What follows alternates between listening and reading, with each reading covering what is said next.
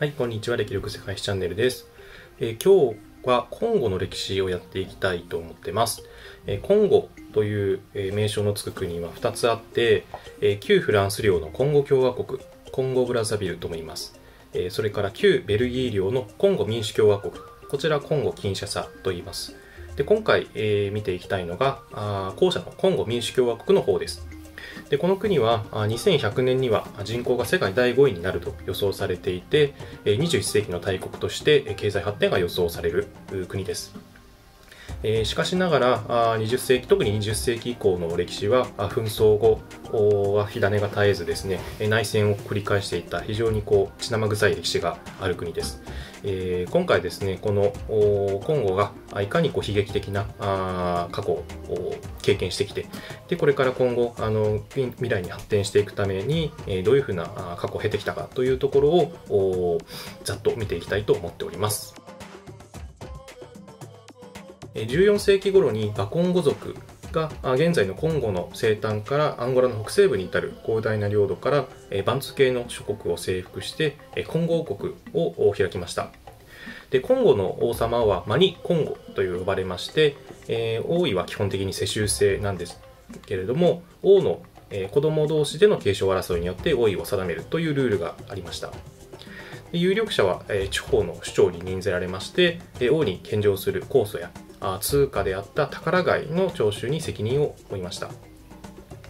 今後王国は政治的にも組織されて物資も豊かな文明国でした。この今後王国に最初に接近したヨーロッパの国がポルトガルです。1476年にポルトガル商人が金剛への謁見を許された後ポルトガルとコンゴは経済的文化的それから宗教的にも非常に緊密な連携を強めていきました。で初期のポルトガルとコンゴの関係は非常に良くて、えー、ポルトガルから技術者がコンゴに渡って技術を伝道したりですとかそれからコンゴからあ留学生がポルトガルで行って、えー、学習してしたりですとか、まあ、そういうこう非常にこうウィンウィンな関係にありましてでコンゴの国王であるヌジンガム・ベンバという人はキリスト教の洗礼を受けてドン・アフォンソ一世と名乗るほど非常に、えーま、西洋の文化文物に対しても親和性がある歴史が、えー、ありました。しかしこのドン・アフォンソ一世の頃からポルトガル商人による奴隷貿易がスタートします。当初は試験的に始まるんですけれどもこれが非常に大きな富を生むことが分かるとポルトガル商人は奴隷貿易目的で今後に来航するようになっていきまして、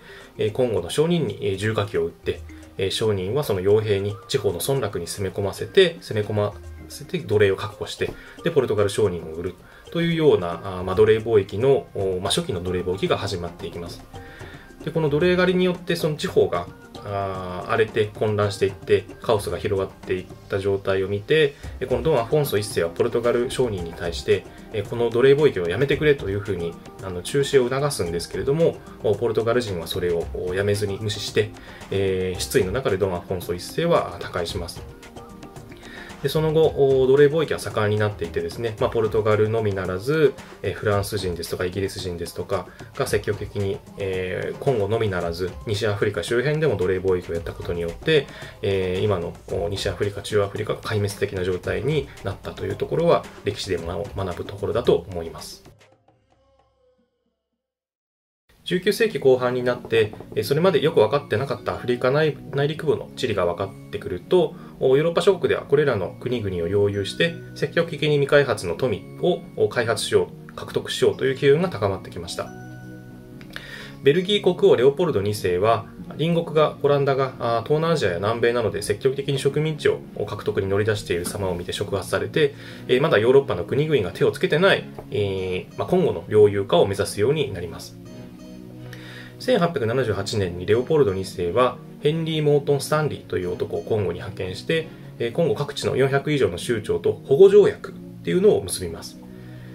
でこれに驚いたポルトガルはレオポルド2世の行動に抗議するんですけれども同じく中央アフリカ周辺の地域の獲得を目指すフランスドイツはレオポルド2世を支持してまたポルトガルの奴隷貿易に反対していたアメリカもレオポルド2世の支持に回りましたこのレオポルト2世によるコンゴの主権は1884年に列強がアフリカ分割について協議するベルリン会議で正式に承認されました。レオポルド2世はこの地をコンゴ自由国とするして、えー、独立を宣言するんですけれども、まあ、自由とは名ばかりで事実上このレオポルド2世の私有地でした。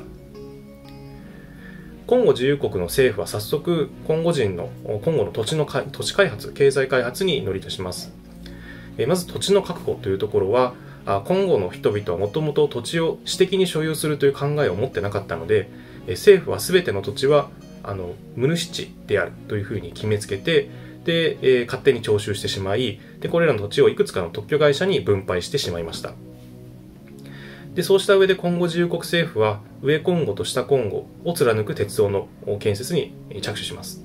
で全長350キロにもなる鉄道は巨大な労働力を必要としたのでコンゴ人だけではなくてアフリカ各地から労働者が動員されてこの工事はですね非常に過酷を極めまして最初の2年間で約7000人が動員されたんですけれどもその半分近く3500人が死亡または逃亡して1500人が負傷したというふうに言われています。残ったのはわずか2000人ほどであったというふうにされています。レオポルド2世はさらにコンゴ南部にある鉱物資源が豊かなカタンガ州の併合も目論みました。当時のカタンガは南からイギリス南アフリカ会社が進出を目論んでましてレオポルド2世はカタンガ会社に特許状を与えて遠征隊を派遣してカタンガの州長と交条約を結んで今後自由国の支配を確立させました。でこの時にコンゴに組み込まれたカタンガが後に勃発するコンゴ動乱の火種になっていきます。コンゴ自由国の産物で多額の利益を上げたのはゴムと象牙でした。政府は住民を強制的にゴムと象牙の採集へと借り出してそれぞれの地区にノルマを課させて達成できなかったら容赦なく、まあ、公安軍が手を切り落としたというふうに言われています。でノルマ未達成の場合の罰は非常に厳しくて労働課された住民だけではなくて、えー、集荷する集荷担当するあの請負人もその責任を負って、まあ、鞭打ちの刑など非常に厳しい罰則を課せられました。さらに政府はゴムや象牙の拠出のみならず政府の役人や行政官が贅沢な暮らしをするための、まあ、食料ですとか物品の供出っていうのも求めました。それに加えて4日に一度は公的な仕事に借り出されて公的施設の建設やインフラのメンテナンスあとは行政官の住居の掃除などにえ人民を借り出しました。この今後統治がいかにうまみがあるかっていうのを知ったレオポルド2世はさらなる利益を求めてレオポルド湖からルケニア川流域の地域を王室直轄領として1905年までの9年間で個人的に7100万フランもの蓄財をしたというふうに考えられています。このようにレオポルド2世による信じがたいほどの暴虐それから搾取が行われていることを知った欧米の世論は非常に激しく反発しました。1903年にイギリス政府は今後駐在のイギリス領事であるロジャー・ケースメントに命じて内陸今後の調査報告書を作らせました。この報告書はコンゴ自由国政府の非人道的な行為に対する告発が書き連なっておりましてイギリス政府はこれをベルギー政府並びにベルリン会議加盟国に送付しました。その後フランスドイツアメリカといった列強もこのコンゴ問題のベルギーとレオポルド2世の対応を激しく非難してえー、ベルギー国内でもこのリークに対して、え、政府と王室批判というのが非常に、え、持ち上がるようになりました、え、このように国際的な非難が高まるとレオポルド2世も、まあ、やれやれということで1905年に調査委員会を立ち上げて上がってきた報告書をもとにして今後人の土地所有、え、認可ですとかゴムの強制集荷の禁止といった改革を実施することを認めたんですけれどもイギリスアメリカさらにベルギー政府ですらこの改革は不十分であるというふうに通告しました。えー、その結果この事態を収集するにはベルギー政府による今後の直接統治しかないとして、えー、これに対してレオポルド2世は非常に激しく反発するんですけれども、えー、1908年の11月にとうとう譲歩して今後自由国政府をベルギー政府の直轄領に移管することで同意しました。でこうして、えー、今後自由国は消滅しベルギー領コンゴが誕生することになりました。レオポルド2世から今後統治を移管されたベルギー政府は、これまでのイメージを払拭すべく、コンゴ人の商業活動の認可ですとか、ゴム象牙の強制集荷の禁止といった改革に着手しました。また今後各地で初等教育のための学校が開かれて、ま、当時のアフリカの基準からすると進んだ教育水準を導入しましたしかしこれはあくまで、えー、ベルギーが設けるための諸改革で、え、開発開発主義を前面に押し出した、まあ、利益優先主義というのはあ引き続き、え、継続されまして大企業それから特権会社が、まあ、最大限今後で利益を上げられるような、え、システムが続けられました。エリザベートビル、え、現在でいうとルブンバジそれからレオポルドビル現在のキンシャサといった都市が建設されて、えー、まあ、都市の大都市の発展というのがここの時代から促されるんですけれども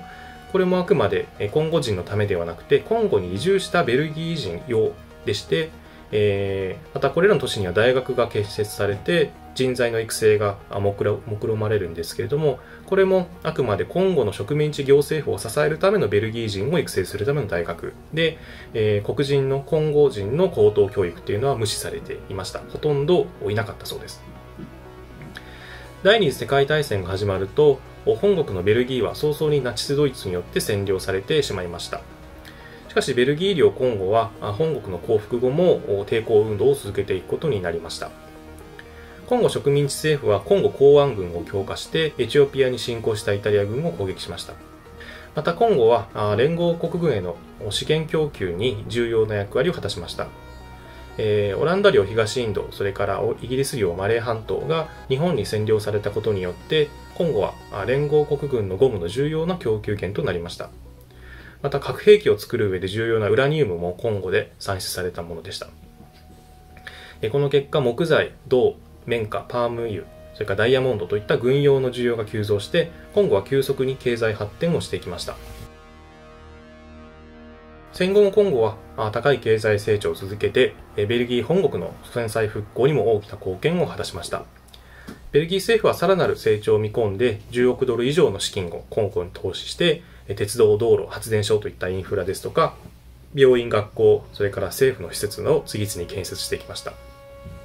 これに伴って今後の輸出総額は1953年には4億ドルを超え、国民総生産10億ドルにも達しました。でこのような経済成長に伴って急速な都市化が進み、多くの今後人が地方から都市に移り住むようになり、学校が普及して高いレベルの教育を受ける人が増えたことで、近代的な考えですとか思想を持つ今後人が増えたことで、えー、そういう人たちは1950年代から急速に、えー、アフリカで広まった独立運動の大きな潮流を敏感に感じ取っていきます。このような流れの中で、えー、今後独立と、えー、それ以降に始まってしまうその今後内戦の目がここから始まっていきます。はい、ということで今回はあ今後自由国の成立、それからベルギー領コンゴの発展というところまで見ていきました。え、次回はあ今後の独立、それから、えー、今後動乱について、え、説明していきたいと思います。ご視聴ありがとうございました。